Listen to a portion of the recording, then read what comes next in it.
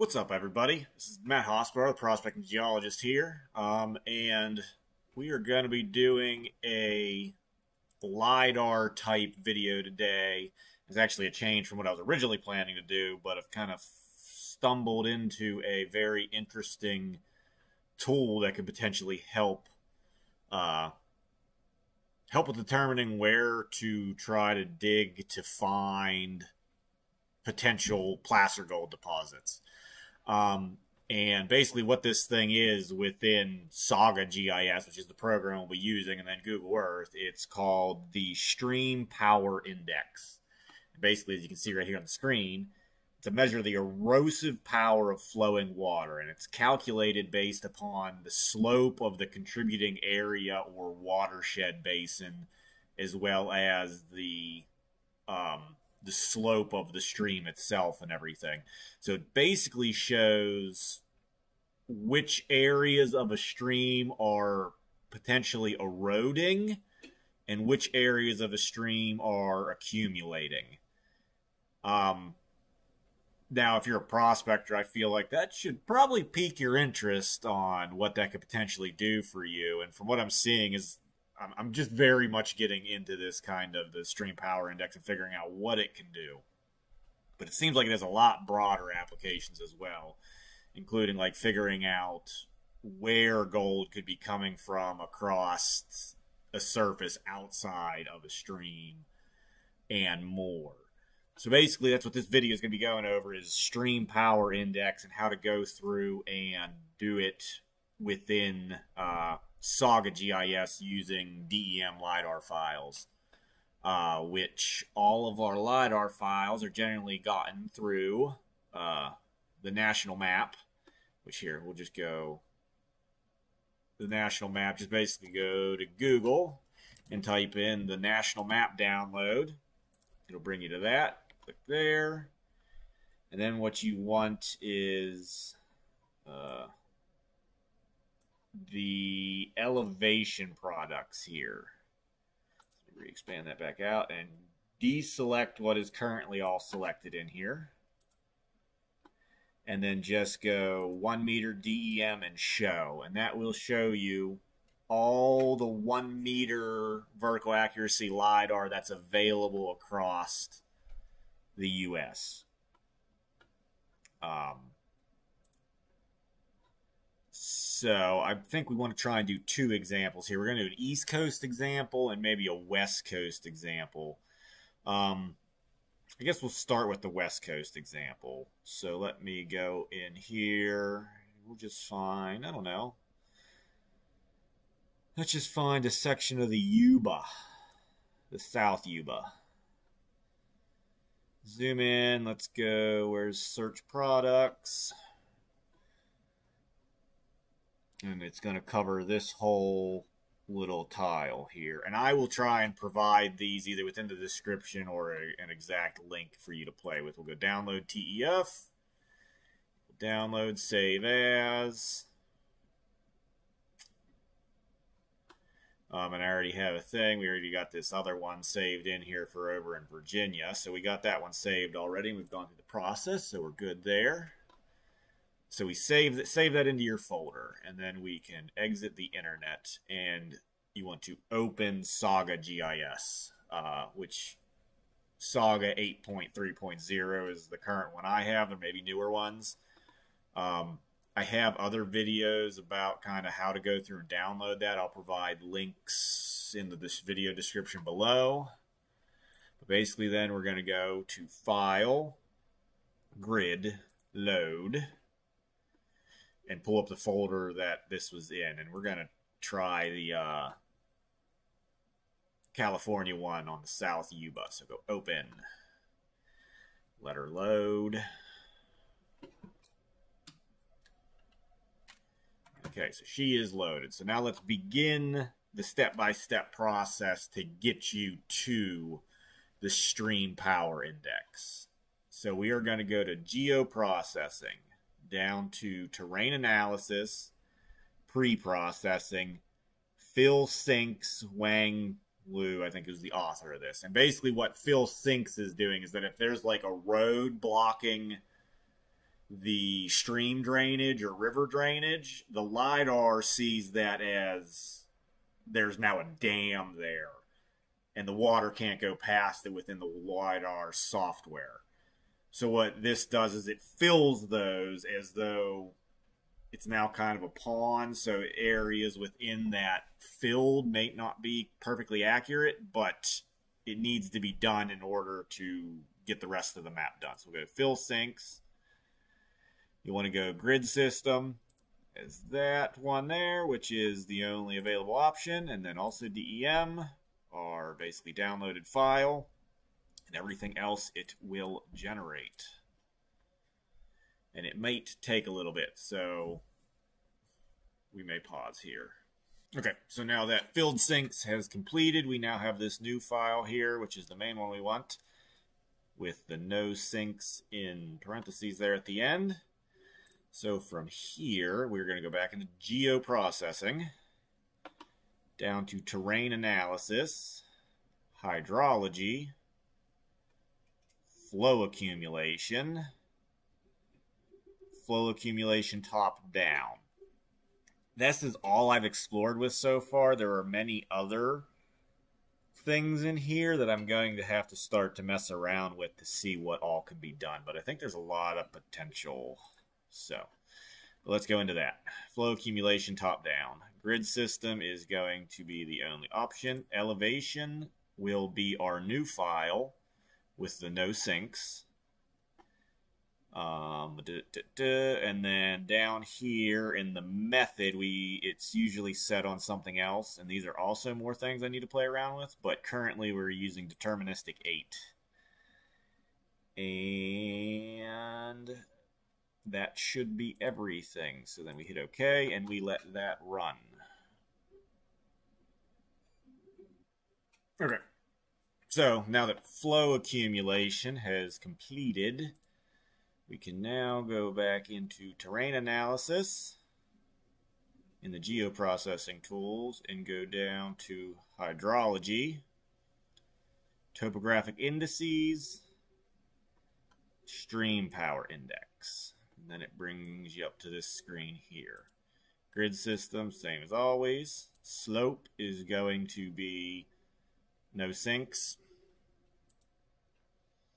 Catchment area, will be flow accumulation.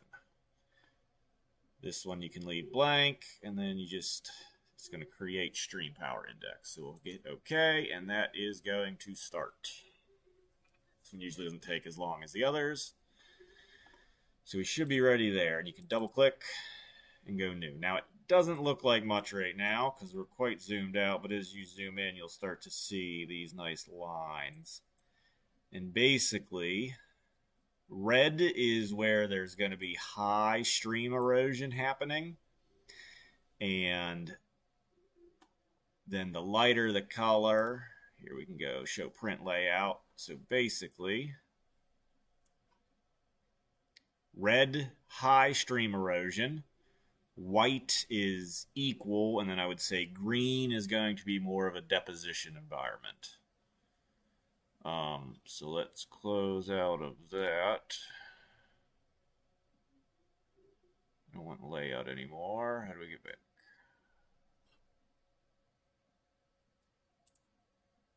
Okay, so now we're back into just our normal one here. We will resize the entire one, remove scale bar, and then what we're going to do is export it to export map to Google Earth, which is within, if you go up to map here, export to Google Earth.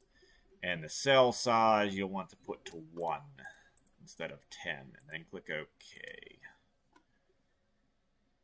And this might take a little bit.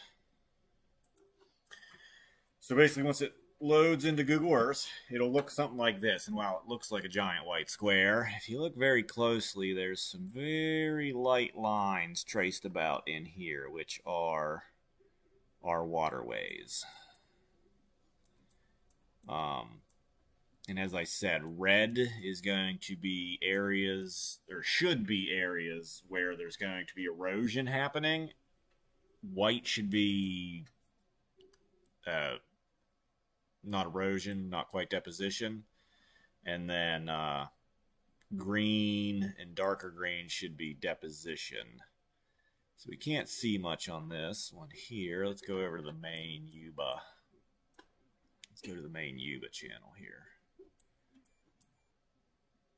So the red, like I said, should be areas of erosion. Now, it's calculating this based off a large number of factors and variables, so I'm not quite sure how accurate it is. I know on some of the Virginia ones I looked at, where I'm quite familiar with the area, it matched up very well with areas where you would suspect erosion would be going on or where deposition would be. Um, so it seems to be able to predict it fairly well.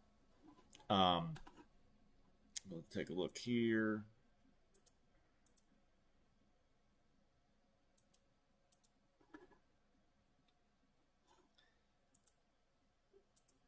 So we see red right here in the middle. I can see that as being erosion. To me, I would think those rock faces would be erosion, and you get a large red all the way around there red on that sweeping outside turn. And it kind of goes into some green through there. It's Another red. Yeah, I can see that. Um, so being able to just kind of use the Yuba here where you can actually see what's going on a little more can help. So I would expect that right there to be red, this here. And we're going to freeze up. So we can also use it to try and predict on streams where we can't see easily where there may be deposition areas and erosion areas. And while I will say out in California, it seems to be generally pretty easy to determine that on where you're possibly going to have like exposed bedrock and erosion versus areas of deposition out east. It can sometimes be much more difficult to determine what's going on with that. Uh, but yeah, here you can see this little stream. We can't see much even for California. It's all kind of treed in. And looks like that's a waterfall, it looks like. So what's that show up as? Okay, so we have what looks like definitely a little waterfall right here that we can see. So let's see how well this matches up. As you can see, as you can see right here, right where that little waterfall is, we got a red, which is kind of how I would expect that to be. Um, let's go back up to the main Yuba here and just take a look around at some more stuff. So we got some green here for deposition, and we got red. See, it's interesting. Not sure exactly how it defines it all, but I don't know. So, this is just something I found and I thought it was cool and possibly helpful. So I wanted to bring it to you guys. I will be working to figure more of it out here.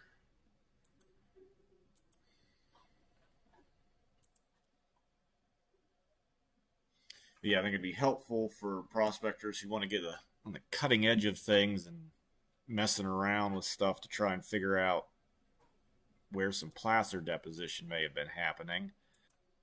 Yeah, it was the ability to be able to see potentially where deposition areas would be before going into the field. To me, would always be nice. And then, like I said, we'll try and take a look at East Coast stuff here shortly. But generally, it can be sometimes harder to kind of determine where uh, erosion and deposition areas may be. So let's uh, move on, and we're going to take a look at a place in Virginia. Okay, so now we'll take a look at some places in Virginia here with this. I already went through and did it through Saga GIS just to not bore you with another run through of how to do this stream power index. We'll load it up here. It seems to not be like my computer just doesn't seem to like it. It keeps kind of freezing every time I want to load one up. So yeah, notice that it's a little intensive on the computing power. We'll zoom in on this area. Some of you may know this area, some of you may not. But I know there's a little waterfall and stuff right there, which should then be erosion. See, it keeps doing this, and it's, I don't know why. It keeps having to, like, reload it every single time, even though it was just there, and it's freezing itself. Uh, gotta love computers. But yeah, like right here, there's a little waterfall. You can see there's little areas of erosion. And then just kind of status quo areas, I guess, with not much deposition. But you do get some right in here. Which, yes, I would suspect that, would be a good area for deposition. Um, but yeah, it just kind of gives you a good color gradient idea of like what areas within your streams are going to be generally eroding versus generally depositing. And I mean, I, for one, definitely going to be checking this out in the field more. Um, can definitely help with finding potential new deposits of placer gold. And we're going to have to uh, explore around with this feature more to see uh, one how well it relates to the real world and then also what other things it can do. Like can i see where there's going to be erosion happening um, near sources and things like that to then point to where gold may be ending up in the creek in places where you wouldn't think it would be um, generally, like this area, I'd expect to be able to find more bedrock right here easier, whereas the depositing areas maybe not find bedrock quite as quickly or easily, but there also might be a better deposit on bedrock in the areas of deposition. Um, we're gonna keep playing around with this some. Uh, I'll probably do some future videos on it with as I figure out more things. But it's just like a cool kind of cutting edge tool for you guys who really want to get to mapping and figuring out where deposits may be before you go into the field to hunt them. Um, I know I'm definitely going to be checking in the field on some of my areas and matching it up with maps that I already have. So to match like the current where I know a whole bunch of gold has been found and what those areas show um, for the stream power index and everything. So, just overall, a cool GIS tool to potentially help you find uh, more placer deposits or more exposed bedrock or various other things in between on what you want to look for in your area. Uh, but yeah, and then probably not a incredibly exciting video for a lot of people, but it could be a very useful cutting edge tool that I've never seen anybody discuss uh, with GIS or gold prospecting. So just trying to bring you the latest and greatest of ideas for prospecting and using modern technology to help better your uh, prospecting gold take in the field. Thanks, guys.